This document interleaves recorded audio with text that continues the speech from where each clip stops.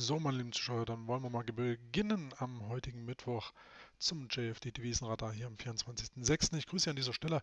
Wir wollen gleich angreifen und uns hier den Euro gegenüber dem japanischen Yen näher betrachten, den wir immer mal wieder im Fokus hatten. Gestern ja auch das britische Pfund gegenüber dem japanischen Yen, welches sich leider in Anführungszeichen nicht wirklich rausheben konnte aus der vorhandenen Range. Aber wir haben heute hier beim Euro gegenüber dem japanischen Yen nochmal eine Chance, hier möglicherweise intraday ein schönes Setup zu finden. Schauen wir zunächst auf den Tageschart, der hier ja durchaus noch bullisch daherkommt, denn wir sehen hier diesen Aufwärtstrendkanal seit dem April-Tief im Bereich 126,05. Klare Aufwärtsstruktur.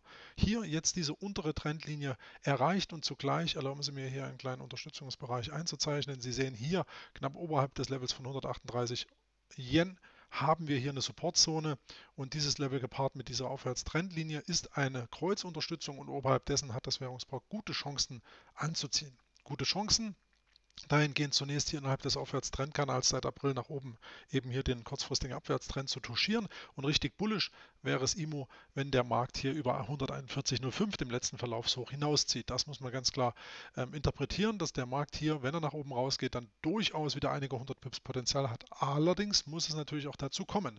Denn sackt der Preis unter 138 Yen hier auf Tagesbasis ab, dann haben wir sicherlich mit einem kurzfristigen Verkaufssignal zu tun, was dann ja ohne viele Umschweife in Richtung 136,80 führen dürfte. Das ist hier diese Horizontalunterstützung gut zu erkennen, um dann im weiteren Nachgang, wenn hier die dicke Bärenkeule ausgepackt wird, sogar einen Rücklauf in Richtung 131,20 etwa zu sehen. Das muss man hier im bärischen Szenario sehen, aber falls dies eben nicht kommt, haben wir hier gute Chancen innerhalb des Aufwärtstrendkanals, die Hochs hier vom Jahresstart Schrägstrich vom Dezember 2014 im Bereich knapp um 150 Yen eben anzusteuern. Das sieht wie gesagt ganz gut aus.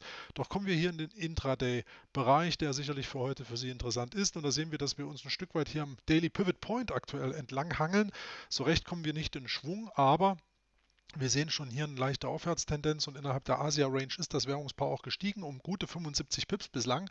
Also wir haben hier eine Strecke zurückgelegt von 75 Pips und das Paar im Schnitt 130, 140 Pips aktiv am Tag. Das heißt, wir haben heute noch das Doppelte an Range zu erwarten, wenn denn die Range erfüllt wird. Denn am gestrigen Handelstag, wenig überraschend, hat das britische Pfund gegenüber dem japanischen Yen sich ja, mit Verlaub kläglich verhalten und wir hatten hier noch eine Range von 90 Pips, die hier eben deutlich unterdurchschnittlich sich kennzeichnet. Insofern aufpassen, was passiert, ob das Währungspaar hier nochmal in Fahrt kommt. Und wenn es in Fahrt kommt, dann passt das hier, und da gehen wir mal auf die Wochentagsstatistik, vortrefflich zum heutigen Mittwoch. Dieser Tag ist nämlich der bullischste Wochentag beim Euro gegenüber dem japanischen Yen, wenngleich von der Volatilität mit 19% nicht ganz so gesegnet, aber 100, äh, 100 sage ich schon, 61% positiver Schlusspreise ist eine klare Ansage und das ist das Niveau, woran, woran man sich orientieren sollte und hier dann im Sinne dessen einer heutigen Ausbruchschance nach oben durchaus partizipieren darf. Morgen dann wieder eine leicht schwächere Statistik, aber das ist jetzt wie gesagt hier nicht der Fokus. Was auch interessant ist, und da zeige ich Ihnen gleich mal die heutige Pattern-Statistik im Sinne der FTSE-Vektorlogik auf Tagesbasis.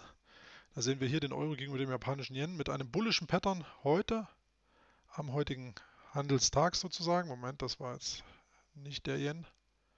Jetzt haben wir ihn. Und zwar zeigt sich hier eben eine Pattern-Häufigkeit von 63, äh, 73 Wiederholungen, die dann hier in knapp 62 Prozent der Fälle zum Erfolg einer weiteren Aufwärtsbewegung führte. Im Schnitt hat das in der Summe hier folgende Ergebnisse gebracht. Im Hoch erreichte das Währungspaar sozusagen 139,61 Yen. Da sind wir nicht mehr so weit weg von, aber die Perspektive, dass wenn wir auf ein neues Tageshoch ausbrechen, das passieren kann, ist durchaus gegeben. Also rein von der FTSE-Vektorlogik auf Tagesbasis eine bullische Tendenz. Ähm, kleines Störfeuer Vorher gibt es von der Saisonalität mit Blick auf die kommenden 40 Handelstage, da sehen wir ganz klar, dass hier der Preis nach unten kippt.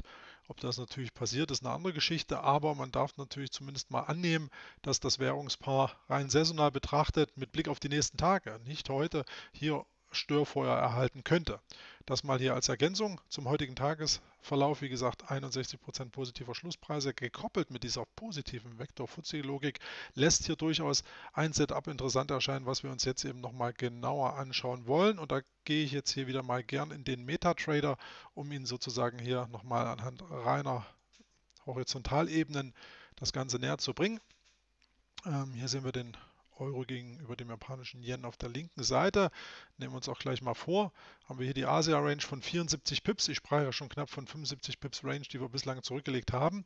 Und hier wird es eben interessant, wenn wir ein neues Tageshoch machen. Insbesondere auch, dann gehen wir mal ein Stück kleiner, wenn wir hier dieses Horizontal-Widerstandslevel im Bereich 138, 92, 93 überwinden und eben hier ein neues Tageshoch machen über 139,04. Wenn das passiert, dann sind eben hier statistisch die Chancen hoch, dass das Währungspaar das ATR-High, also die durchschnittliche Range, haben wir während der vergangenen 14 Tage 137 Pips im Schnitt zurückgelegt, dass wir hier dann praktisch rein vom Potenzial her in Richtung 139,66 laufen. Und Sie haben eben bei der FTSE-Vektorlogik gesehen, da hatten wir einen Hoch bei 139,61. Und das ist im Prinzip hier doch eine ganz interessante Chance in Sachen von 70 Pips nach oben, die es hier geben gehen könnte, rein statistisch. Ich zeige sie nochmal. Die FTSE-Vektorlogik zeigt hier ein Hoch. Hoppala. So, nochmal aufrufen, dann haben wir es.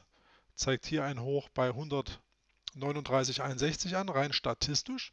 Und das bezieht sich natürlich auch interessanterweise auf die Möglichkeit, die wir hier sehen, im Sinne dessen, dass wir hier die True Range abfassen. Und insofern ist ein neues Tageshoch nicht hundertprozentig wahrscheinlich, sowas gibt es an den Märkten nicht, aber die Wahrscheinlichkeit ist erhöht, dass wir dann hier weitere Performance nach oben sehen, die hier bis in den Bereich statistisch von 139,60, 139,70 führen könnte.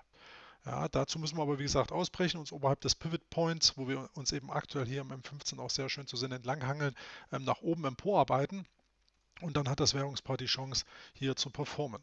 Anders sieht es natürlich aus, wenn wir hier innerhalb der Asia-Range bleiben. Und das ist dem britischen Pfund gegenüber dem japanischen Yen gestern größtenteils widerfahren. Es gab einen kleinen Ausbruchsversuch, dann kippte das Währungspaar wieder runter. Also so richtig dynamisch war da mal rein gar nichts.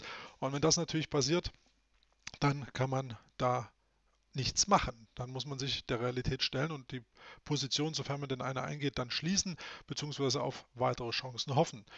Negativ, und das ist ganz interessant hier beim Währungspaar Euro-Yen, ist es, wenn wir hier das Vortagestief und gleichzeitig Vorwochentief, was hier bei 138,14 liegt, unterschreiten, dann sollte es nämlich von diesem Level ausgehen, mindestens hier bis in den Bereich 137,70 rund gehen. Da sprechen wir über rund 50 Pips Abwärtspotenzial, wenn wir aus der Asia-Range nach unten rausbrechen. Das Vortagestief und Vorwochentief unterschreiten, das ist ein ganz entscheidendes Support-Level, was, wenn es denn aufgegeben würde, hier ganz klar die Bären nach vorne rücken würde. Aber nach oben, wie gesagt, wäre heute der Ausbruch zu favorisieren. Allerdings brauchen wir Volatilität, allerdings brauchen wir dann ein neues Tageshoch. Und solange das nicht kommt, muss man sich hier in Ruhe üben. Warten Sie ab, liebe Zuschauer, jetzt kommt nachher gleich noch eine kleine Goldanalyse. Da schaut es nämlich auch sehr, sehr interessant aus. Ähm, dazu aber später mehr. Dann auch nochmal im JFD Live Trading TV natürlich den DAX später. Freue mich auf Sie, wenn wir uns da wieder hören. Ich sage jetzt erstmal Danke fürs Einschalten und wünsche Ihnen noch einen erfolgreichen Handelstag und bis später, wenn Sie mögen. Ihr Christian Kämmerer.